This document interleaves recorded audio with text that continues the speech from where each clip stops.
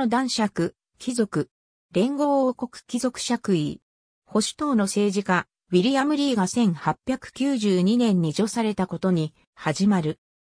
男爵家の旧邸宅であるライムパーク二代男爵トマス・リー保守党の政治家、ウィリアム・リーは1892年8月27日に連合王国貴族としてランカスター王権伯領におけるニュートン・イン・メーカーフィールドのニュートン男爵に叙せられた。二代男爵トマスは父同様に保守党の政治家として活動し、主計長官や外務政務次官補等を歴任した。また、彼は、枢密院特別委員会委員を務めて、カール・エドアルトといった独王系王侯貴族の称号剥奪を審議している。